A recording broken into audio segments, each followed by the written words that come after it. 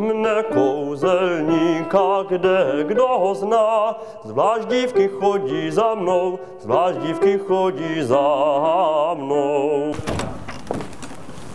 Dobrý den. Tak tohle je moje pánská šatna. Šatna sboru opery DKT Plzeň.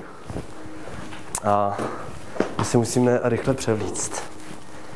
Maria. Tady máme nějaké noty, kde se můžete podívat na všechny tituly, který tady máme naspívaný. Já mám na Marielu krásné vzpomínky, protože my jsme tam v skutku začínali se sestrou jakoby tu naší pěveckou kariéru, kdy když jsme byli doma, tak jsme chodili do Mariely tajně, jo, a o, tam jsme začínali zpívat. O, byli jsme součástí sboru a časem, časem jsme dostávali nějaké solové, jakoby, nebo solové úlohy v tom sboru. Turuli jaram kňaziu trup Půjdu vala, sláva, sláva, sláva, sláva, sláva. Hmm.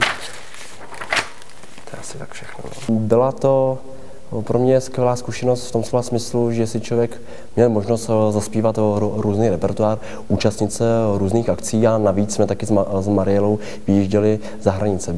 já jsem s nimi byl v Polsku, byl jsem s nimi v Americe, což bylo naprosto, naprosto fantastický kdy dokonce Mariela byla tak úžasná, že sehnala sponzora pro mě a sestru, že nás to nic nestálo. Jo.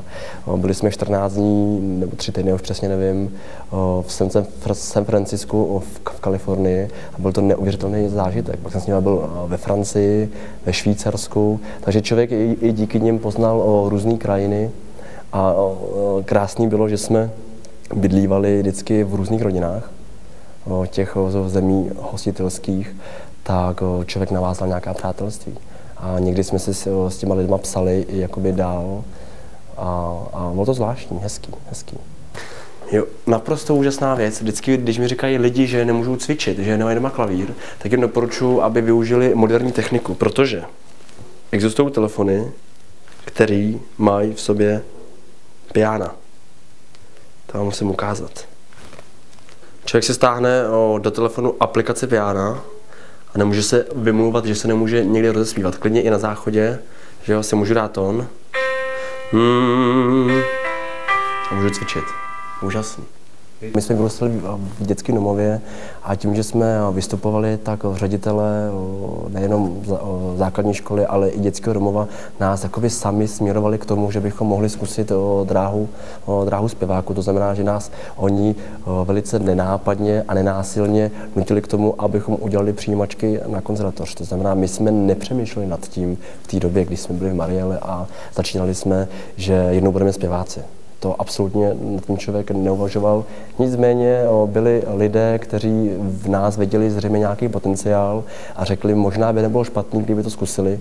A já, já se sestrou rád říkám, že jsme byli natolik blbí, že jsme se nechali jakoby ovlivnit doporučením těch lidí, kteří s námi mysleli dobře. Takže my jsme šli na přijímačky na konzervatoř, byli jsme neustále součástí sboru a tak se to nějak jako různě vyvíjelo. Takže si myslím, že, že ta účast v tom sboru byl, byl takový základ k tomu, abychom se dál jakoby rozvíjeli. Hmm. Mama, mama, mama. Mama, mama, mama. Mama, mama, mama. Hmm, hmm, hmm. Mama, mama. Mama, mama, me, me, me, mo, mo, mo. Mama, mama, mama, me, me, me, mo, mo, mo. Myslím si, že důležitý je, jak člověk vnímá sám sebe v té skupině. Jestli chce být jakoby, člen, člen sboru proto, že tam je skvělá parta a přitom si zaspívají, anebo jestli člověk má nějaké ambice. A má-li nějaké ambice, tak já třeba si myslím, že zrovna v Mariele má možnost se prosadit právě skrze to, že, že no, když to dítě samo na sobě pracuje, pracuje a vedle toho sboru třeba chodí ještě na hodiny zpěvu třeba na nějakou základní uměleckou školu a ten jeho hlas má nějaký vývoj, tak určitě Maruška je proto mu dát příležitost, aby to dítě se prezentovalo třeba i co by jakoby solista toho sboru. Takže tam ty podmínky proto jsou. Ale pak je otázka, jestli to dítě je pilné, zda cvičí, protože zpívání to není otázka toho, že člověk otevře pusu a je to tam, ale je to neustálá denní práce. A já třeba, když si vzpomenu sám na sebe, tak o, jsme se sestrou byli dost pilní teda. Obzvláště na konzervatoři teda. To jsme v půl sedmí byli ve škole a odcházeli jsme v půl osmí. Důležité je si uvědomit, odkud člověk vychází, jak, jaký má potenciál, jaký má talent a nechat tohle všechno, všechno rozvíjet. Hlavně tomu věřit. To je důležitý. Plus, plus dát ruku, ruku k dílu a být k tomu trošku aktivní. Mnekou, kouzelníka, kde kdo ho zná, zvlášť dívky chodí za mnou, zvlášť dívky chodí za mnou.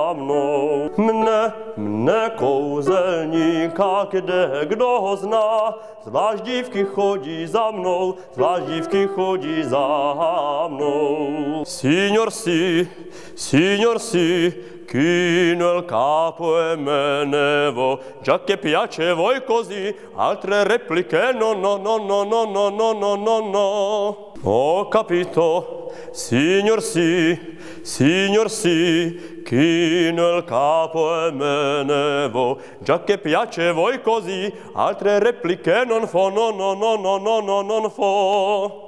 Vnímáme ta vystupování i takovým způsobem, že, že tomu sboru děkujeme a že pro nás jakousi povinností, když můžeme, tak se sborem vystoupit.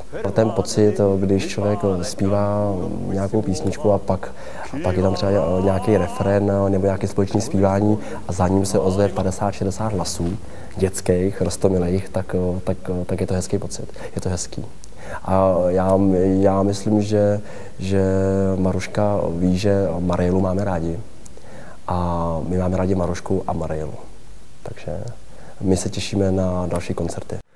Ho capito, signor si, signor si, chi nel capo a me nevo, già che piace voi così, altre repliche non fo, no, no, no, no, no, no, non fo. Cavalier voi siete già, Dubitar non posso a fe, me lo dice la bontà che volete aver per me, aver per me, aver per me.